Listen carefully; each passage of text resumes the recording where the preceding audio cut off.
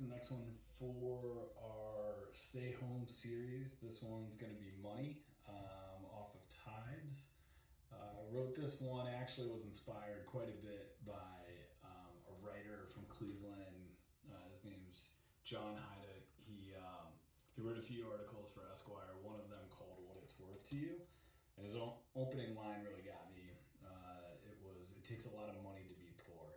And he kind of talks about his relationship with money, and I think we all struggle with that. But now more than ever, I think everyone's reevaluating what does money really mean in our lives, especially when it's a necessity. Um, you know, for a lot of folks that um, are you know on the front lines of this. So, so this one kind of goes over it a little bit. Uh,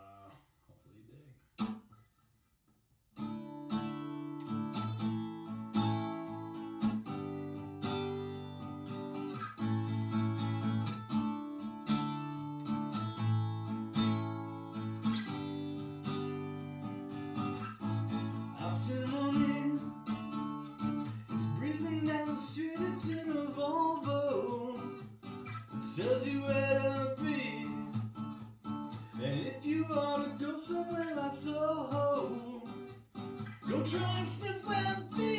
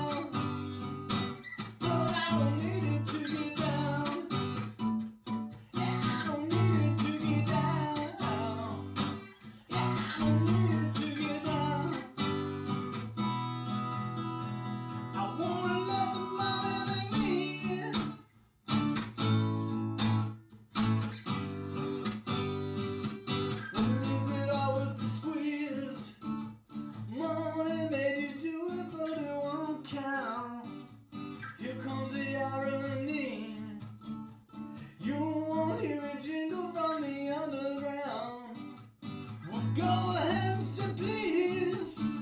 That morning photographs so well. The folks who atop the hill keep spraying